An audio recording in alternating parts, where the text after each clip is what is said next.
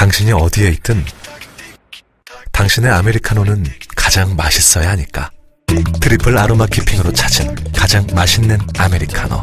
음, LOOKAS 아메리카노.